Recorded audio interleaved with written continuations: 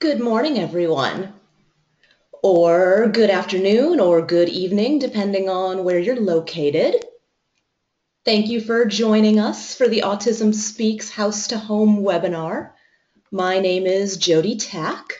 I am part of the HeroX Challenge Success team, and I will be taking you through this presentation today.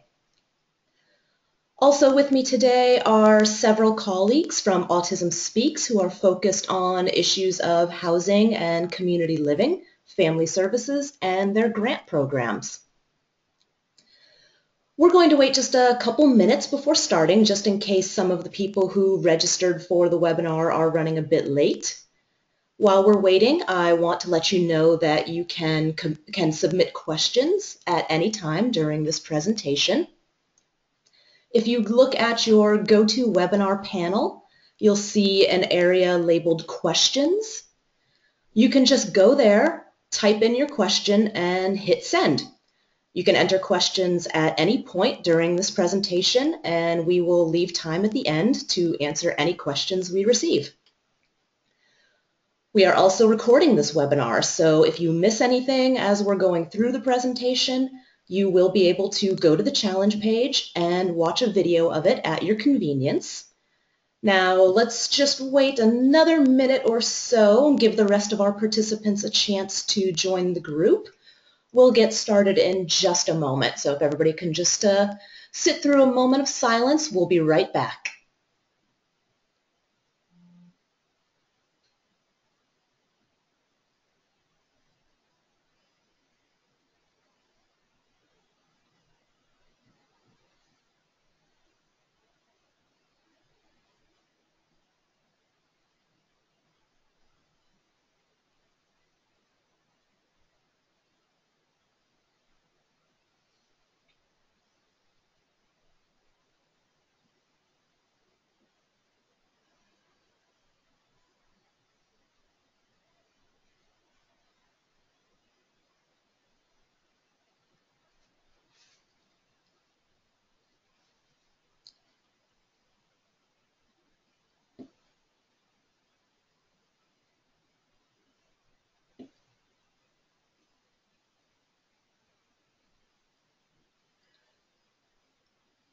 Okay, let's go ahead and get started. I think everyone is here and hopefully anybody who's arriving a little bit late can get caught up or uh, check out the session and that, as it's recorded afterwards. So once again, welcome to the Autism Speaks House to Home Prize webinar. My name is Jody Tack. I'm a member of the Challenge Success team here at HeroX. Also with me today are several colleagues from Autism Speaks who are focused on issues of housing and community living, family services, and their grant programs. Today we're going to walk you through an overview of the competition, some of the guidelines for competitors, and instructions on how to complete your submissions. We are recording this webinar and we will be posting it to the challenge page on herox.com so if you miss anything or you just want to go back and review the presentation later, you will be able to do so at your convenience. If you have any questions as we go through the presentation, you can submit them using the questions pane on your GoToWebinar panel on your screen. Just type your question into that window and click send. We'll leave time at the end of the presentation to answer any questions we receive. So the Autism Speaks House to Home Prize was created to inspire belief-busting breakthroughs in housing and residential supports for adults with autism. Autism Speaks is offering $150,000 in prizes for the best breakthrough ideas. Studies have shown that approximately 81% of adults with autism are currently living with their parents. 500,000 young individuals with autism will be entering adulthood over the next 10 years, and government statistics indicate that autism spectrum disorder diagnoses are increasing anywhere from 10% to 17% every year. So what these statistics show is that we have a community of individuals with autism whose needs aren't being fully met and this community is going to grow larger with each passing year. So the next great breakthrough in housing solutions for adults with autism is needed right now. The term housing solutions encompasses so much more than just a physical place to live.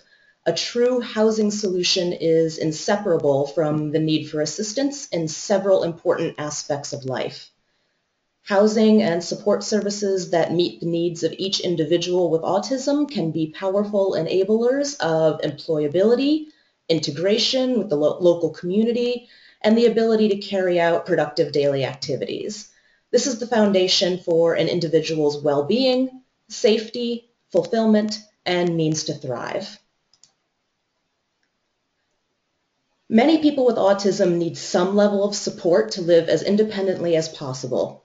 Depending on the individual, the range of supports needed can include help with daily living activities and self-help skills, transportation and access to the community, employment and leisure opportunities, managing finances, personal safety, and accessing medical care.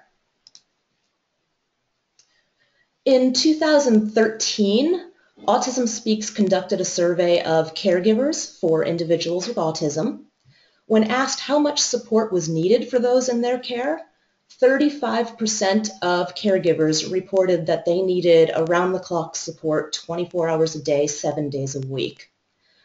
42% of caregivers reported that they needed at least some level of support every day, and 22% reported that they needed some level of support every week you'll see that only 1% of those surveys stated that they did not need any support. So again, the next great breakthrough in housing supports for adults with autism is needed right now. The level of support and type of support needed will vary greatly from person to person and will especially differ between those who need daily support and those who need weekly support. As a result, Autism Speaks is offering three prizes for three separate solutions to the House to Home prize.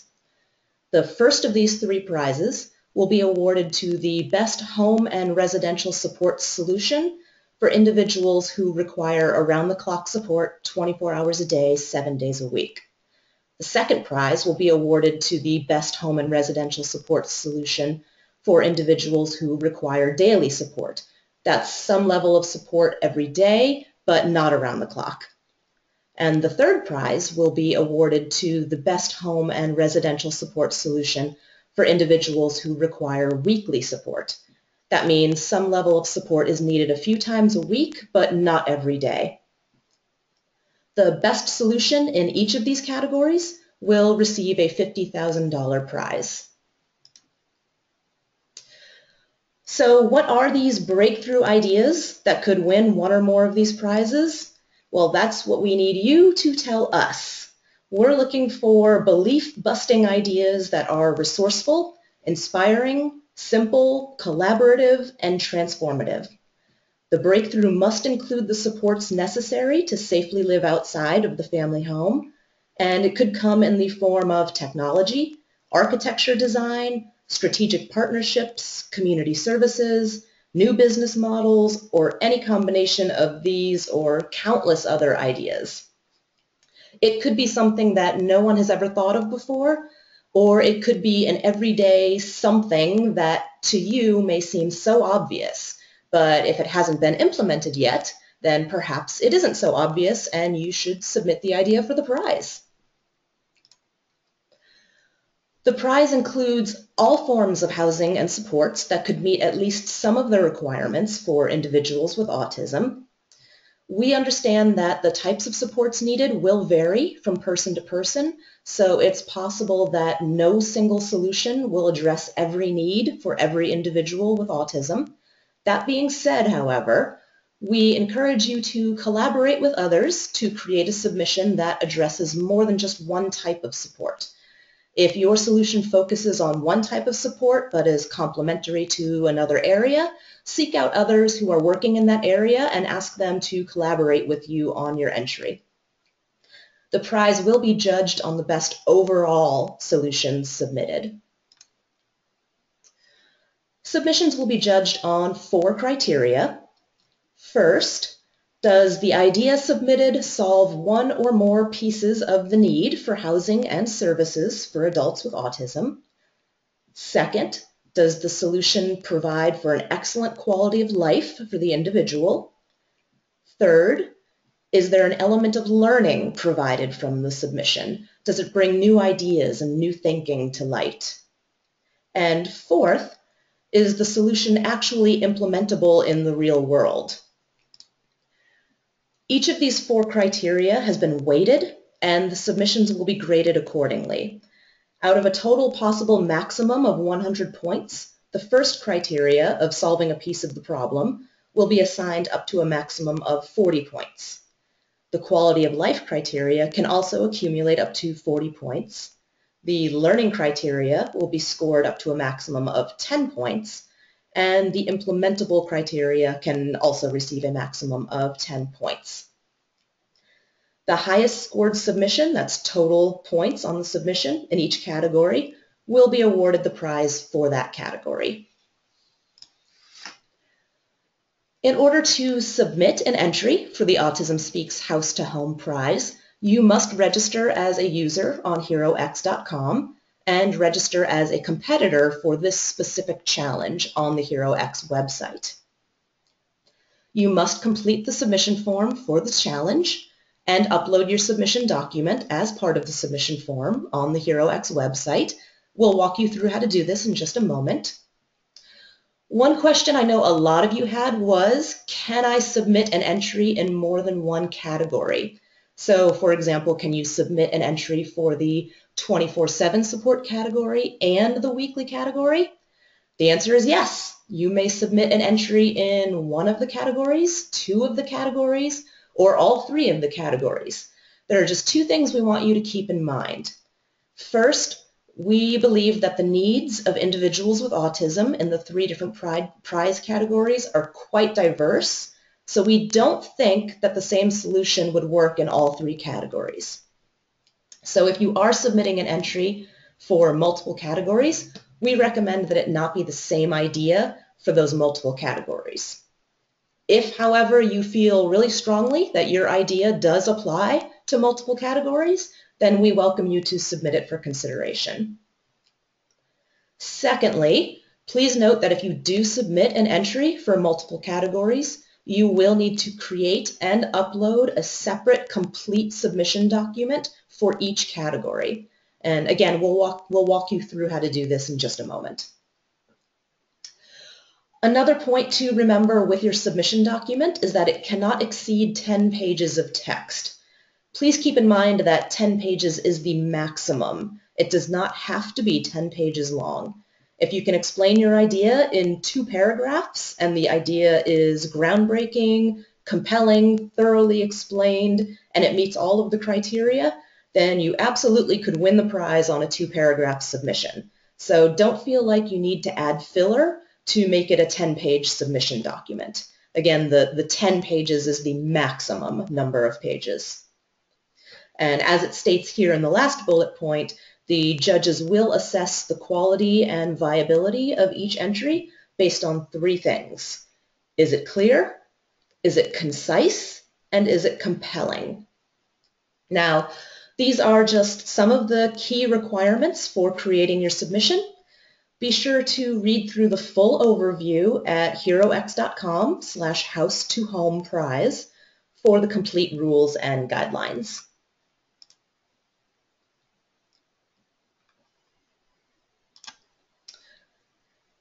Now we're going to walk you through how to submit your entry on the HeroX website. Step one is you want to go to the House to Home Prize Challenge page, which is located at herox.com slash house to home prize. At the top of the page, you'll see a summary of the challenge details and the challenge timeline. If you scroll down just below that top summary pane, on the right-hand side, you'll see a button that says Start Here. Click that. If you're not already registered as a HeroX user, or if you are registered but you're not logged into your account at that time, you will be prompted to register as a user or sign into your account. So just follow the steps to register or to log in if you are already a registered user.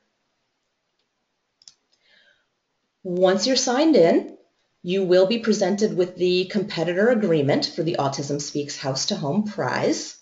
Please read through this agreement carefully. If you submit an entry to the challenge, you will be bound by the terms of this agreement. At the bottom of that screen, you will see two buttons, Decline and Accept. If you agree to the terms of the agreement, click Accept. If you do not click Accept, you will not be able to proceed with creating your submission. After you click accept, you will be presented with your personal information. This is the information that you entered when you created your HeroX profile. Make any updates to the information if necessary. It just gives you the opportunity to make changes if you need to. And when you're finished, just click register. When you've completed your registration, you will be taken back to the main challenge page and you will see that where the Start Here button used to be, there are now two new buttons, Submit Entry and Create a Team. If you're ready to start filling out your submission form, click Submit Entry. If you'll be collaborating with others on your submission, click Create a Team to create your team, invite others to join your team, and to fill out your submission form as a team. Note that all team members must still register as individual users on the HeroX website before they can be added to the team. It's also worth pointing out here that just beneath the Submit Entry button, you'll see a link that says Legal Agreement. If you click on that link, you will be able to review the competitor agreement that you just accepted in step two above, um, if you, so if you ever want to reread that agreement before completing your final entry, that link will allow you to do that. The next slide shows you what the submission form will look like. There are a number of fields that you will be asked to fill out. Any required field is marked with an asterisk. If you want to start filling out your form and then come back and finish it at another time, you can do that. If you scroll down to the bottom of the submission form screen, you will see a button that says Save Entry. This will save your entry as a draft, and you can return to edit it at any time. It's important to note, though, clicking Save Entry does not submit your entry for judging. It simply saves it so that you can continue to work on it at a later date. When you're ready to submit your entry for final judging, there's one more step you'll have to take, and we will show you that in just a moment. But continuing on with the submission form right now, as mentioned earlier, you will need to fill out the forms in the, in the form and upload your submission document. You will see that there is a section on the submission form where you will upload your document, or documents if you're submitting an entry for more than one category. So this section is at the bottom of the submission form. It's labeled Submission Document, and you will see that there are three separate upload buttons for the three separate categories. So be sure to upload your document to the correct category that your solution addresses. So for example, if you are submitting a solution for the 24-7 category, you would click, you, you click the first Choose File button beneath the heading that says Submission 24-7 Support category. If you are submitting a solution for the weekly category, you would click the third Choose File button beneath the heading that says Submission Weekly Support category. Again, you can upload a submission for more than one category, but you must have a separate complete submission document for each category that you enter. So be sure to upload the correct submission document under the correct category. After you click Save Entry, click the Save Entry button at the bottom of the submission form, you'll notice that the button on the main challenge page changes again. Now when you return to the challenge page, you'll see that the button there is now labeled with the title of your submission. So anytime you want to continue work on your saved submission, simply return to the main challenge page at herox.com slash house to home prize and click the button with the title of your submission on it. When you click that button to return to your submission, you will see a preview of the fields that you've already filled out. And at the top of the page, there are two buttons, Edit and Submit Final Entry. If you want to edit your submission, simply click the Edit button, make your changes, and click Save Entry when you're finished. You can do this as many times as you want, Again, when you click Save Entry, your submission is simply saved as a draft. It is not submitted for judging. When you're ready to submit your entry for final judging, click the Submit Final Entry button. Remember, your submission cannot be reviewed by the judges until you click this button. So you must click the Submit Final Entry button before the submission deadline in order to have your entry considered for a prize. Now here's a look at the schedule for the Autism Speaks House to Home Prize. The challenge launched three weeks ago on October 15th. This next date right here in the middle is the one that you're going to want to pay special attention to. This is the submission deadline, March 1st, 2016. Now I know that seems like a long way away, but it will be here before you know it. All submissions must be received through the HeroX platform no later than 11.59 p.m. Eastern Standard Time on March 1st. Late submissions will not be accepted. So we strongly recommend that you do not wait until the deadline to submit your entries. HeroX and Autism Speaks cannot be held responsible for any technical difficulties, power outages, natural disasters, or any other obstacle that may prevent you from submitting your entry on time. So please try to submit your entry well before the deadline to make sure you get your chance at the prize. Submissions will be reviewed beginning on March 2nd, and the winners will be announced on April 19th, 2016. So, as stated at the beginning of the presentation, we want to take the remaining time to answer any questions you may have. And I do see a few have come in, so let me take a look here. Uh, Chris Bravo asks, oh, Chris Bravo says, good morning. Good morning to you, Chris. Um, for clar the question is, for clarification, would you like the supporting diagrams and tables inline in the text or included after the text but still in the same PDF? Do the diagrams and tables count as text if they are inline? Excellent question. Um, our thought was that the, uh, the 10 pages would be limited to just the text. Other supporting diagrams and tables uh, can be added as appendixes at the end of the document. Um, and then those, those supporting diagrams and tables do not count toward the 10 pages of text maximum requirement. If you want to include them in part of the document, uh, in line as the document is going on, uh, I don't think that we're opposed to that. Um, I'm sure we can probably figure out what, whether or not those those diagrams and tables push the text over 10 pages. Um, so if you think that your submission works better with it being presented in, in sequence, I think that's fine. Uh, again, just be mindful that the judges will be looking at clarity and conciseness of your submission. So just be mindful of your page count and uh, present it the way that you think is best. And Chris has one other question, which is, can you replace a previously uploaded document before submitting? Absolutely. You can make any changes as long as you have not clicked that submit final entry button. You can continue to make changes, including replacing the documents that you have previously uploaded. And you're welcome. Chris says thank you. You're very welcome.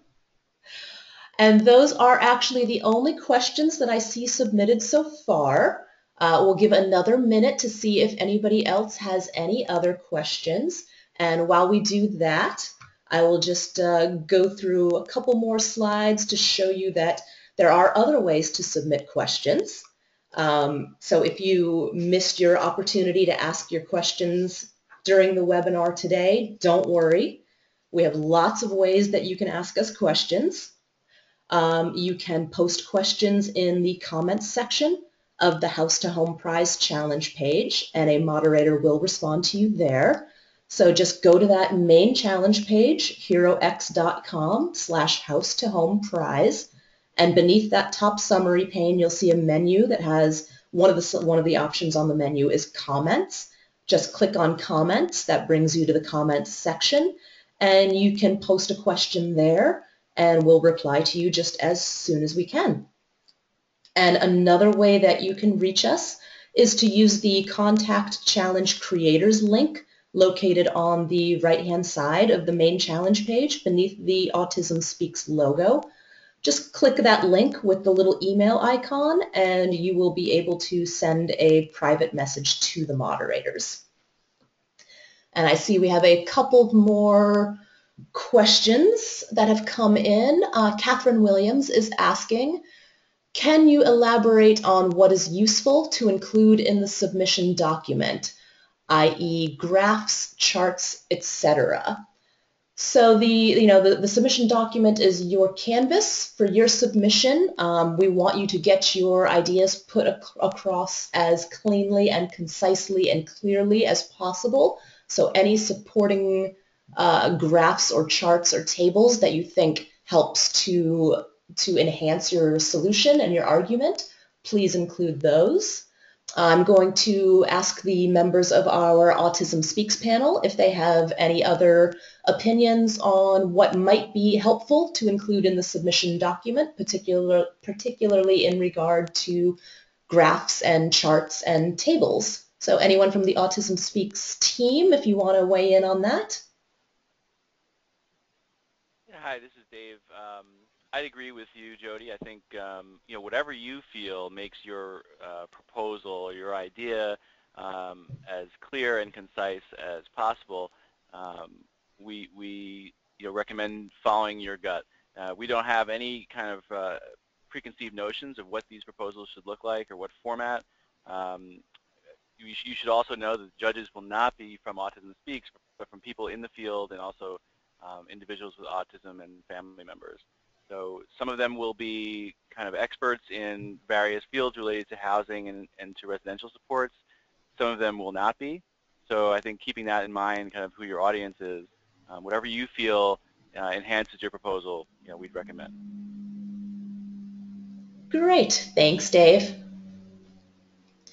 And I have one more question that has come in. Sally Coletti asks, who owns the material slash submissions once submitted? Does Autism Speaks take it as their material? Excellent question.